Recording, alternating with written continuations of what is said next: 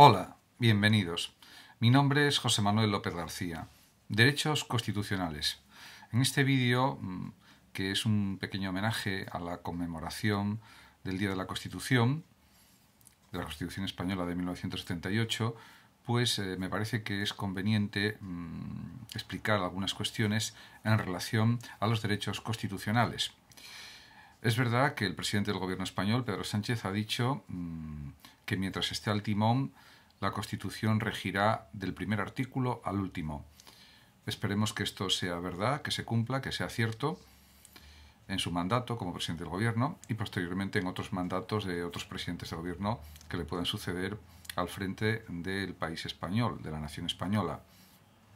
Ciertamente, eh, estos últimos días ha habido distintas declaraciones, eh, sobre todo la última, eh, de un grupo de militares que han puesto en tela de juicio esto. Mm, ciertamente no se trata de considerar que son planteamientos de tipo ingenuo, eh, se trata de asegurar de que la independencia del País Vasco, de Cataluña, no se va a ejecutar y se va a desmembrar España. Y eso hay un cierto riesgo que lo reconocen pues, numerosos eh, eh, pues, articulistas, comentaristas, tertulianos, periodistas, profesores de Derecho Constitucional, etcétera, etcétera. No es que lo diga yo únicamente.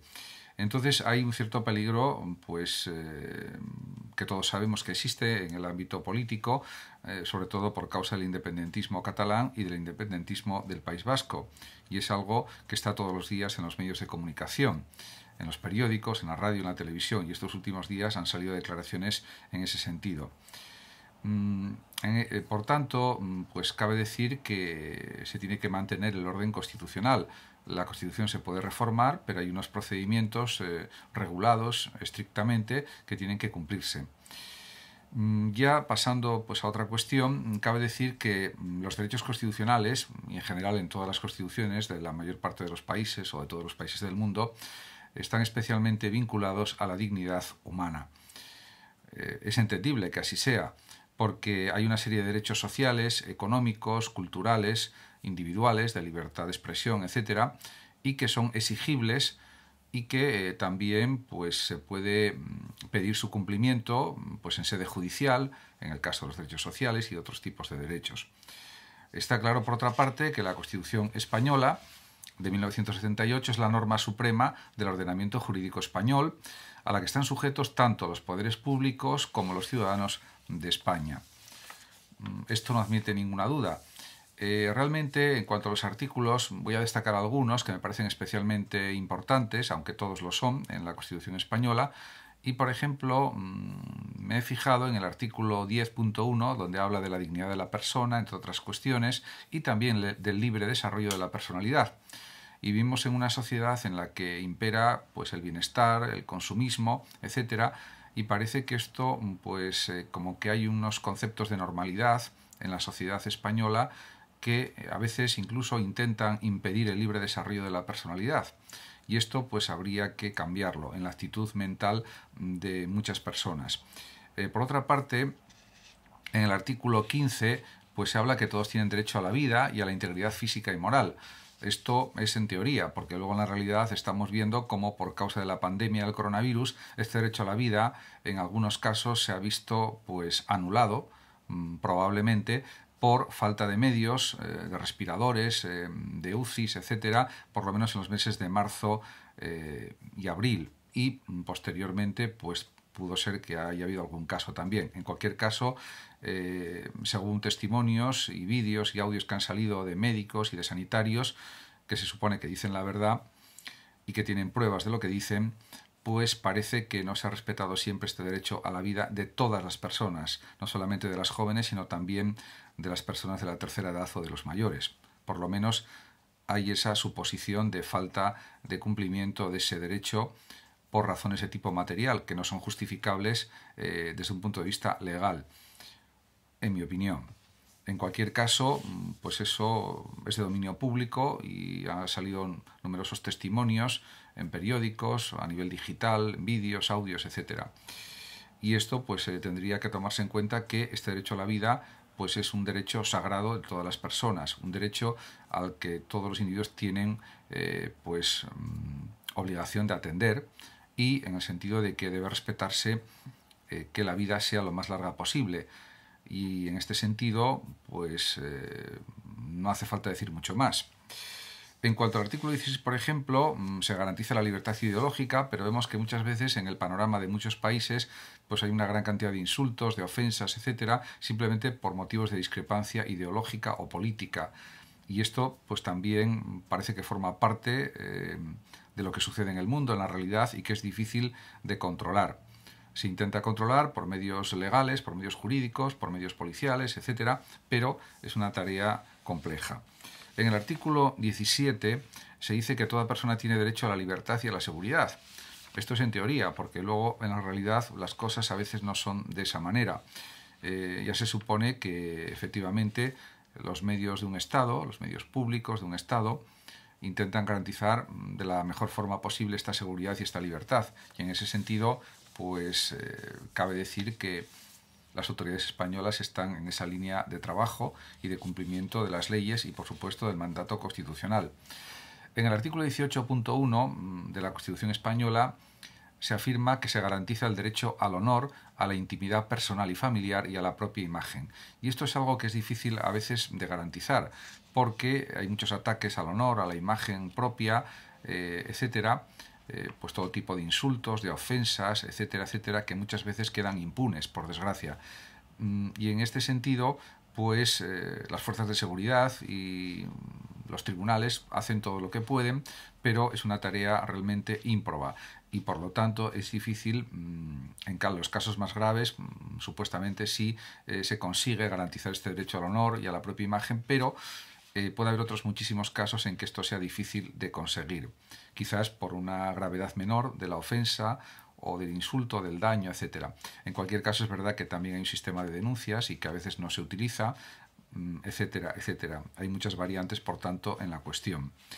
En el artículo 20 mm, de la Constitución española, en el punto 1 se reconoce y protegen los derechos por ejemplo, a expresar y difundir libremente los pensamientos, ideas y opiniones mediante la palabra, el escrito o cualquier otro medio de reproducción. Y esto, este artículo 20.1, a veces no se tiene muy en cuenta por parte de alguna gente.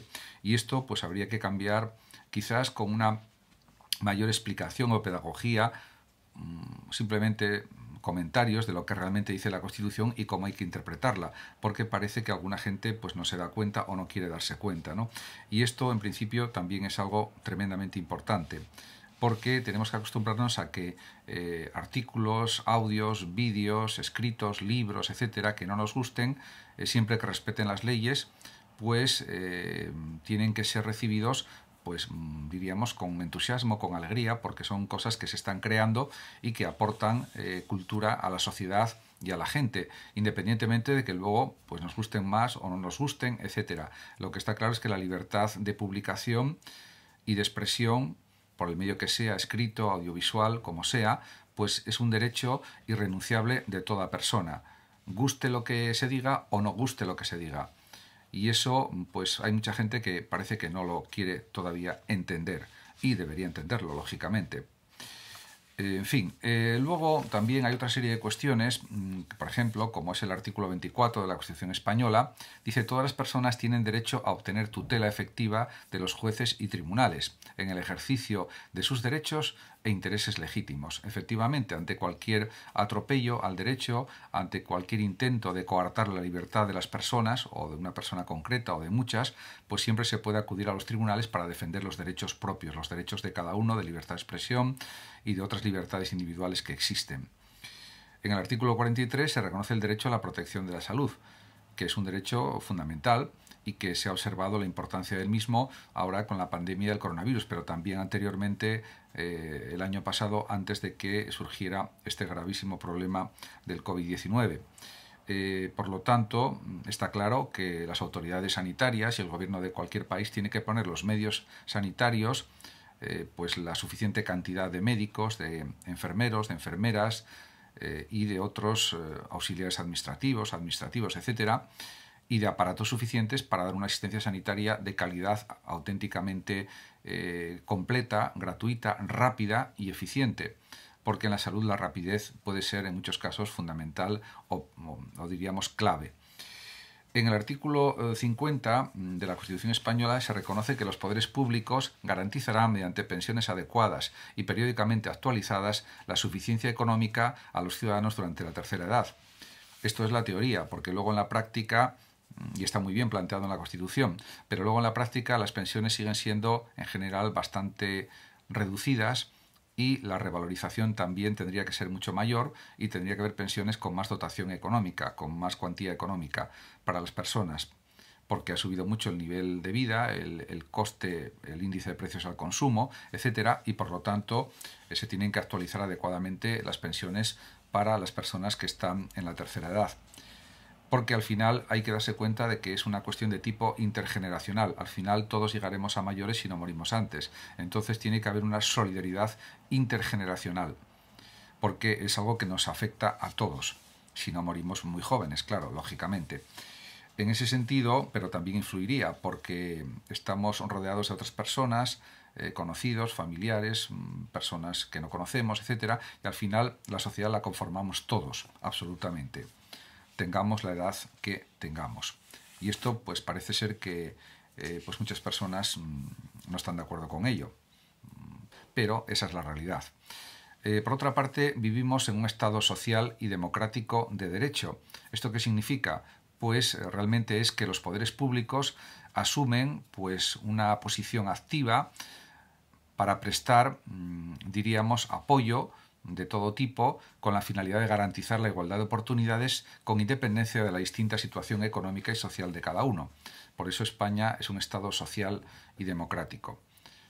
Esperemos que todos estos artículos mm, se sigan desarrollando de mejor manera para que al final todos tengamos pues, un Estado realmente eh, pues, adecuado, un Estado del bienestar que cumpla con las exigencias de una democracia a la altura de los tiempos, a la altura del siglo XXI, en el que no haya pobreza, en el que no haya exclusión social, en, el, en la que no haya marginación, en la que no haya violencia contra las mujeres o contra cualquier persona, etcétera, etcétera.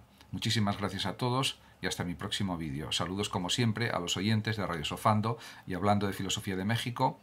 Y por último decir que los que lo deseen pueden compartir este vídeo, darle un like o suscribirse a mi canal de YouTube. Hasta siempre. Gracias.